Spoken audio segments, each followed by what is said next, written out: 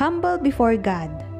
Isaiah 40, verse 12 to 13 Who else has held the oceans in his hand? Who has measured off the heavens with his fingers? Who else knows the weight of the earth, or has weighed the mountains and hills on a scale?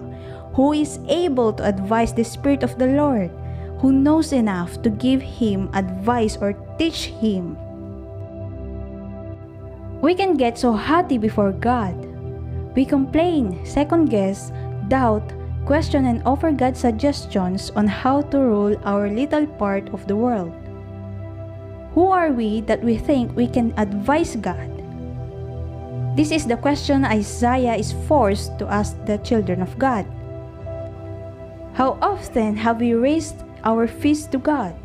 How often we have doubted His word? Who are we that we think God needs to check in with us before He does something? Who are we that we think He needs us to tell Him what to do? And yet, though we get proud and rebellious, God still loves us. God still calls us His children, longing to fellowship with us.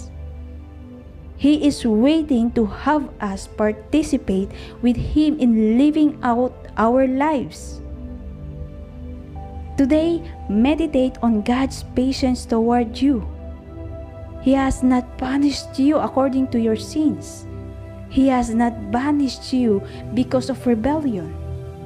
See Him waiting for you to come to Him with a humble heart See Him longing for you, the creation to come to Him, the Creator in love and humility.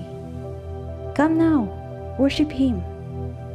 Humble yourself and adore Him for all He is and has done, and enjoy His presence. Let's pray. Father, forgive me for my pride and arrogance. I cannot understand all your wisdom or power. Who am I that you would allow me to be your child? And yet I am. How I praise you. Please help me live for you today. In Jesus' name, amen.